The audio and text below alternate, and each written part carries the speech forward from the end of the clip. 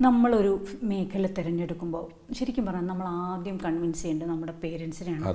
കാര്യം അവർ പറയും ഇടാ അത് സെക്യൂർഡ് അല്ല. ഇടി അത് ഇതല്ല. എന്റെ മോളെ അതെ. ശരിക്കും പറയാം എനിക്കൊരു വളരെ അടുത്ത ഫ്രണ്ടുണ്ട് his the best businessman മാസം ലക്ഷങ്ങളാണ്. ഇന്നും അദ്ദേഹത്തിന്റെ അമ്മ അമ്പലത്തിൽ പോയി പറയുന്നത് ഭഗവാനെ എന്റെ കുട്ടിക്കൊരു ജോലി കൊടുക്കണേന്നാണ്. അപ്പോൾ കേരളത്തിൽ എന്റെ അവിടെ അടുത്ത അമ്പലമുണ്ട്. അവിടെ ഒരാൾ ഡെയിലി ആക്റ്റീവിൽ വന്നിട്ട് ഹെൽമെറ്റ് വെച്ചിട്ട് പ്രാർത്ഥിച്ചിട്ട് പോകണതാണ് ദൈവം ആരാന്നും പറഞ്ഞ് അനുഗ്രഹിക്കുമെന്ന് എനിക്ക് മനസ്സിലാകത്ത്.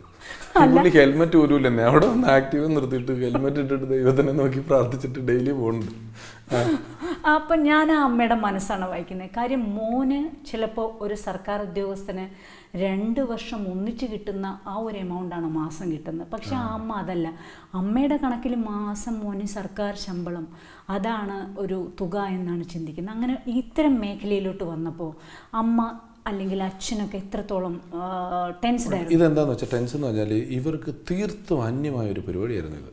ഞാനിത് എങ്ങോട്ടാണ് പോകണേ എങ്ങോട്ടാണ് വരുന്നത് എന്നുള്ളത് ഇവർക്ക് കൃത്യമായിട്ട് അറിയില്ലാത്തൊരു സാഹചര്യം ഉണ്ടായിരുന്നു. കാരണം അവരൊന്നും അവരുടെ ബന്ധമുള്ള ഏരിയയല്ല ഇതൊക്കെ. അപ്പം ഞാൻ പത്രത്തിൽ കണ്ട് അപ്പോൾ ഞാൻ എനിക്ക് ഇതിനോടൊക്കെ ഒരു താല്പര്യമുണ്ട്. ഒരു ട്രൂപ്പിൽ കയറിയാലോ എന്നൊക്കെ ഞാനിങ്ങനെ അറിയും പത്ത് സലീമേന്റെ ട്രൂപ്പിന്റെ പരസ്യം പത്രത്തിൽ കണ്ടിട്ട്. അപ്പോൾ അമ്മ തന്നെയാണ് പത്രത്തിൽ പരസ്യം കണ്ടിട്ട് അപ്ലൈ ചെയ്യാൻ പറഞ്ഞു. ഞാൻ ട്രൂപ്പിൽ പരിപാടിക്ക് പോയി. ഇരുന്നൂറ് രൂപ വെച്ച് ഒരു സ്റ്റേജിന് കിട്ടുന്നുണ്ട്. വലിയ കുഴപ്പമില്ല.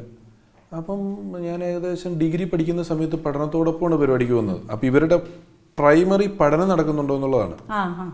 അതുണ്ടെങ്കിൽ അമ്പത് അമ്പതാണ്. ഞാൻ അത് വിട്ടിട്ട് ഇതിന് പോയാൽ ഇവർ പ്രശ്നം ഞാൻ പഠിക്കുന്നുണ്ട്. ഞാൻ പ്രീ ഡിഗ്രി പഠിക്കുന്നുണ്ട്. കോളേജിൽ പോകുന്നുണ്ട്.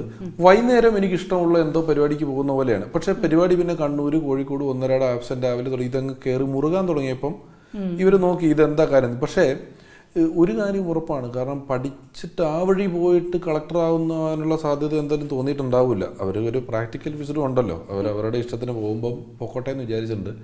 അങ്ങനെ പോയി. പക്ഷെ നമ്മൾ പിന്നെ ഇതിന്റെ ഒരു പാട്. നമ്മൾ ഉത്സര ഉത്സവപ്പറമ്പുകളിൽ പരിപാടി പൊളിയുന്നു. ഇന്നലെ ചീത്ത കേട്ടു. ഇന്നലെ നമ്മുടെ വണ്ടി തടഞ്ഞു വെച്ചു. ഇന്നലെ രാത്രി ബസ് മിസ്സായപ്പോൾ ഞങ്ങൾ ട്രാൻസ്പോർട്ട് സ്റ്റാൻഡിലാണ് കിടന്നുറങ്ങിയത്. ഏഴ് മണിക്കല്ലേ ഫസ്റ്റ് ബസ്സുള്ളൂ വൈക്കത്തോട്ട്. അതൊക്കെ കേട്ട് തുടങ്ങുമ്പോൾ ഇവർക്ക് ചെറുതായിട്ട് ഇതിന്റെ ആവശ്യമുണ്ടോ? നാട്ടിൽ എന്തെങ്കിലും ഒരു ചെറിയ പരിപാടി നോക്കിയാൽ പോരെ എന്നൊക്കെ അവർ ന്യായമായി ചോദിച്ചിട്ടുണ്ട്. അത്രേ ഉള്ളൂ.